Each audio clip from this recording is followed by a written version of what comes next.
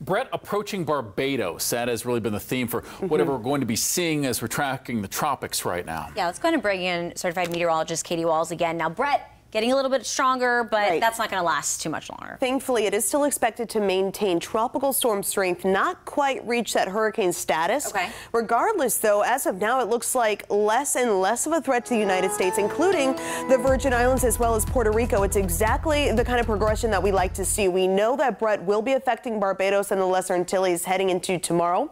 So let's bring you the very latest track. Sustained wind 65 miles per hour. It continues that westward motion around 15 miles per hour. So here's Barbados. Here are the Lesser Antilles right now. Barbados, St. Lucia, Martinique, as well as Dominica, all under tropical storm watches and warnings at this hour. Unsurprisingly, as this system approaches, expected to produce 60 to 65 mile per hour winds, big waves, as well as heavy rainfall there.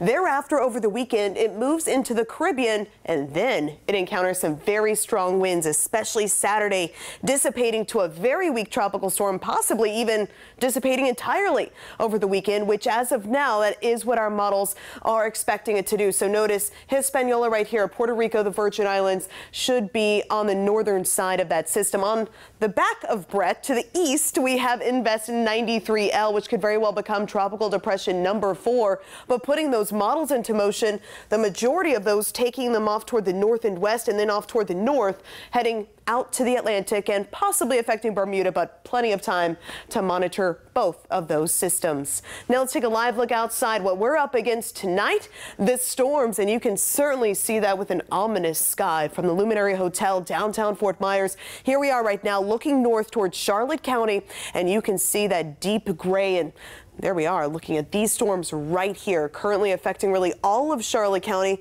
stretching back towards Sarasota. And you can see where those storms are headed.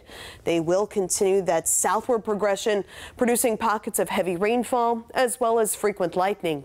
While we're not expecting necessarily anything strong or severe with this particular round, we'll still see some impacts, obviously, for those of you traveling. So just be sure, take it nice and slow. From the Cape Haze Peninsula through El Jobean, Murdock, up through Harbor Heights, Punta Gorda, Cleveland, really regardless of where you are in Charlotte County, you are dealing with those pockets of heavy rainfall and lightning. Same story on and off throughout DeSoto County, especially the southeastern quadrant of DeSoto and then farther inland from Felda down toward Immokalee. Still monitoring those heavy downpours right along 29. So if you are traveling that direction, just keep in mind that flood advisory in effect until 730. This area has already picked up several several inches of rainfall and with more still falling, we could see some of that minor flooding. Otherwise, heading through the next several hours, we'll continue to see that activity even through 10 o'clock. I'll be tracking these storms for you on Fox 4 News at 10. But by midnight, things are much quieter. Tomorrow morning should be a fairly muggy but quiet start, and then it's the afternoon that will feature those showers and storms, especially farther inland. So just a heads up, especially inland, that's where we'll have the best probability for tomorrow afternoon. For tonight, we start off around 78 degrees tomorrow morning, up to 93 for the afternoon, feeling more like 103 degrees, however, with that humidity.